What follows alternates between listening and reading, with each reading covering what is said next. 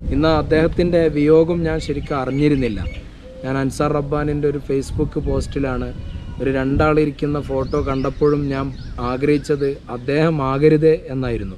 ഷാഫിസ്ഥാനോട് ഞാൻ ചോദിച്ചു അദ്ദേഹമാണോ അല്ല ആയിരിക്കാൻ ഇടയില്ല എന്നുള്ള ഒരു സമാധാനത്തിൽ തന്നെയാണ് ഇവിടെ വന്നത്. കാരണം ഞാനറിയുന്ന ആജിക്കാണോ ഇവർ മനസ്സിലാക്കിയത് എന്ന് എനിക്ക് ഉറപ്പില്ലാത്തത് കൊണ്ട് നസീബ് റബ്ബാനിയോടൊന്ന് ഞാനത് ചോദിച്ചിട്ടുണ്ട് അവരോടൊക്കെ പറയാനുള്ളത് സമയം കിട്ടുമ്പോൾ വല്ലപ്പോഴും ഒന്ന് സന്ദർശിക്കേണ്ട സ്ഥലമാണ് ഒരുപാട് ചരിത്രങ്ങൾ ഒരു പഞ്ചാബിന്റെ ഒരു അറ്റ്മോസ്ഫിയർ പഞ്ചാബിന്റെ അറ്റ്മോസ്ഫിയർ ഒക്കെ ഇൻഷാല്ല നസീബ് റബ്ബാനിയാണ് പറയേണ്ടത്. ഞാൻ ഹാജി സാബിന്റെ വീട്ടിൽ പോയപ്പോഴുള്ള ഒരു ഒരു ഓർമ്മ പുതുക്കലാണ്. കാരണം രണ്ടായിരത്തി പതിനേഴിലാണ് ഈ പള്ളി ഉദ്ഘാടനം ചെയ്യപ്പെടുന്നത്. അന്ന് ഉദ്ഘാടനത്തിനാണ് ഞാൻ ഈ ആദ്യമായിട്ട് ഈ ഗ്രാമത്തിൽ അസ്സാം വലൈക്കും വറഹമത്തുള്ള. Welcome back again. പുതിയൊരു വീഡിയോയിലേക്ക് എല്ലാവർക്കും സ്വാഗതം.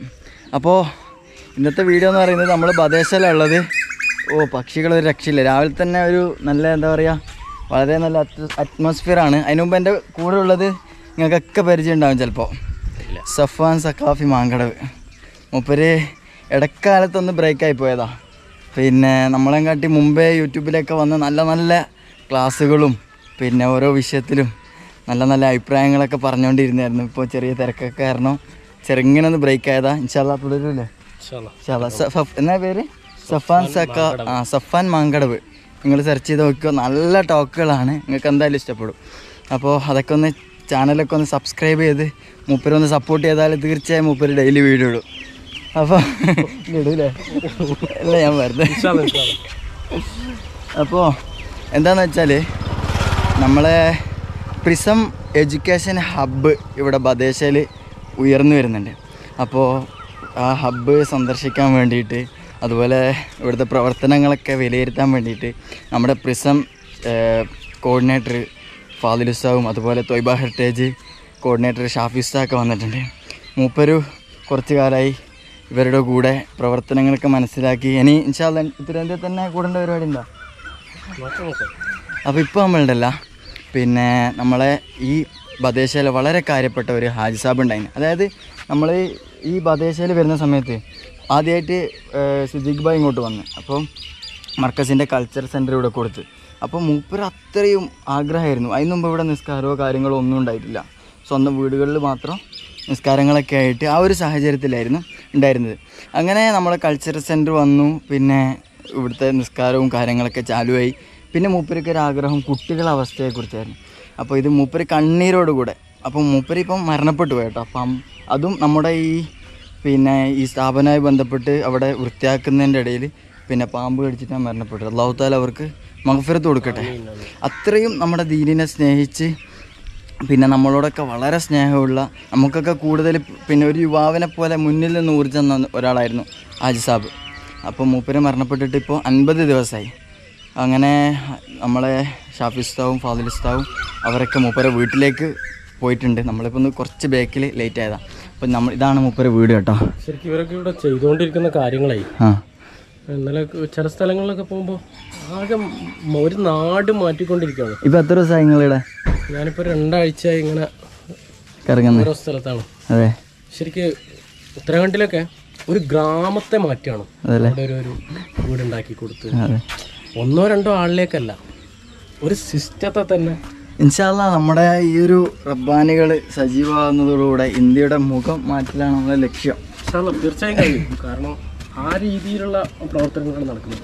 സിമ്പിളൊന്നുമല്ല ഒരു നാട്ടിൽ വന്ന് നിന്നിട്ട് അതും ഇവിടുത്തെ ചൂടൊക്കെ സഹിച്ച് സത്യം പറയല്ല എല്ലാവർക്കും എന്റെ ഇപ്പം സംശയം എന്താ അറിയോ ക്യാമറ ഒറിജിനാലിറ്റി പ്രകടിപ്പിക്കുന്നതാണോ അല്ലെങ്കിൽ ഞാൻ ഇതായതാണോ? സഹിക്കാൻ കഴിയാത്ത ചൂടാണ്. ചൂടുണ്ട്. കഴിഞ്ഞ ദിവസങ്ങളിലൊക്കെ ഇപ്പോൾ ഒരു മഴ പെയ്ത് ചെറിയൊരു ഇതുണ്ടെങ്കിൽ പോലും.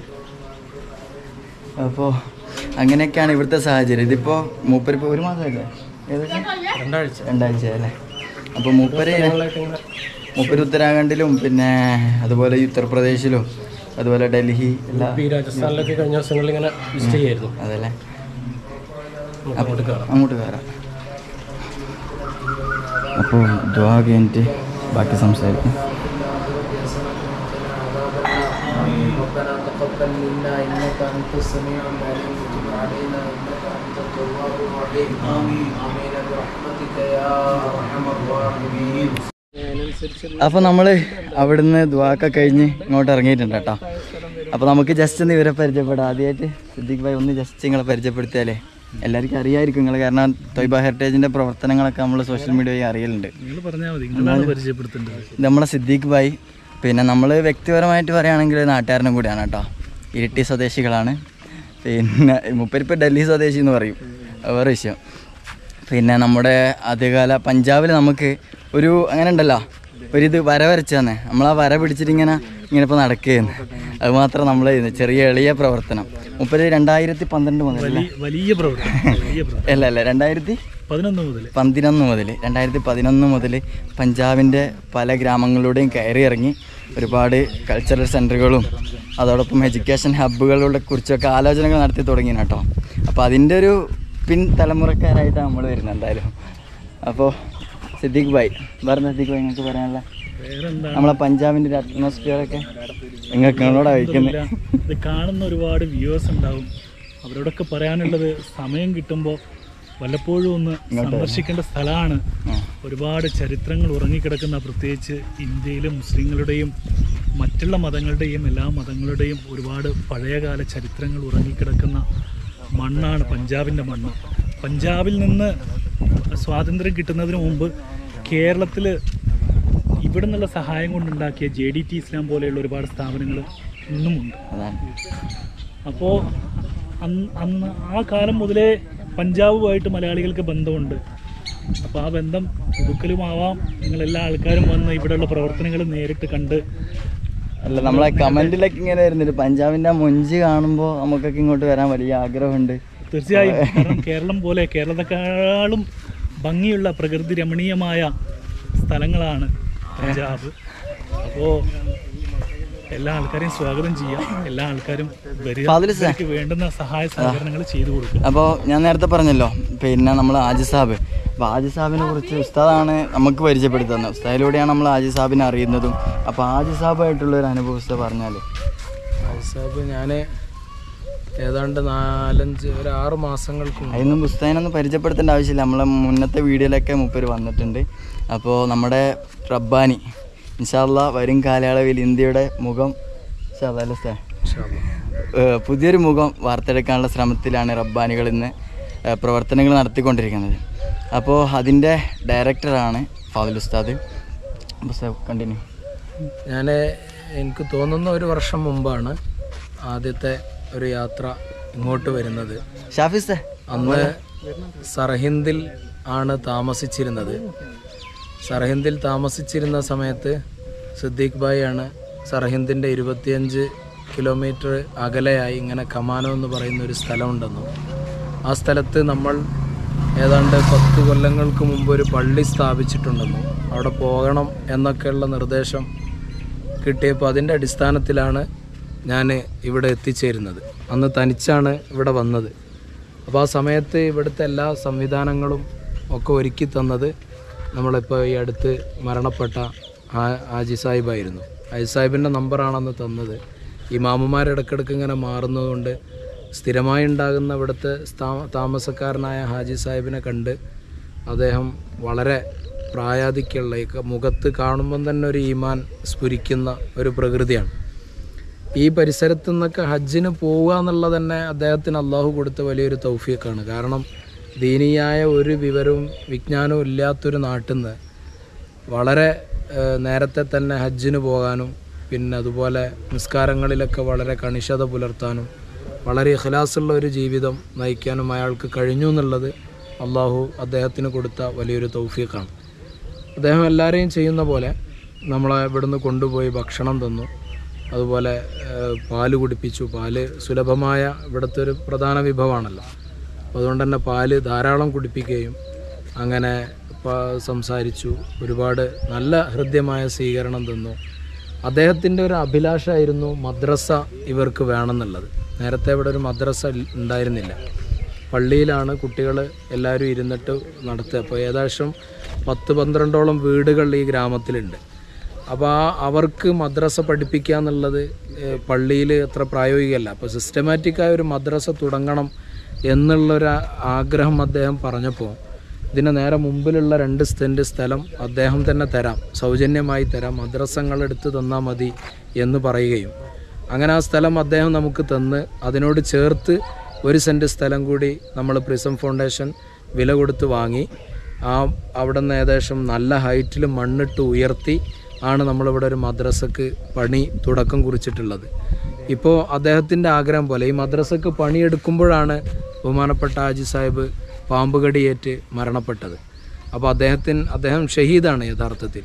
ദീനീയായ ചലനങ്ങൾക്ക് വേണ്ടി അഹോരാത്രം കഷ്ടപ്പെട്ട് ആ പ്രവർത്തനത്തിൽ ഏർപ്പെട്ടുകൊണ്ട് തന്നെ അദ്ദേഹം മരണപ്പെട്ടു എന്നുള്ളത് അദ്ദേഹത്തിന്റെ പിന്നെ ഷഹാദത്താണ് രക്തസാക്ഷിത്വമാണ് യഥാർത്ഥത്തിൽ കുറിക്കുന്നത്. അദ്ദേഹത്തെ സംബന്ധിച്ചിടത്തോളം വളരെ സന്തോഷമുള്ള ഒരു പരലോക ജീവിതമാണ് അദ്ദേഹത്തിന് ലഭിക്കാനുള്ളത്. അള്ളാഹു പരലോകത്ത് വളരെ സൗഖ്യമായ ജീവിതം അള്ളാഹു അദ്ദേഹത്തിന് നൽകുമാറാവട്ടെ.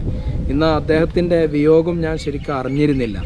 ഞാൻ അൻസാർ റബ്ബാനിന്റെ ഒരു ഫേസ്ബുക്ക് പോസ്റ്റിലാണ് ഒരു രണ്ടാളിരിക്കുന്ന ഫോട്ടോ കണ്ടപ്പോഴും ഞാൻ ആഗ്രഹിച്ചത് അദ്ദേഹം ആകരുതേ എന്നായിരുന്നു.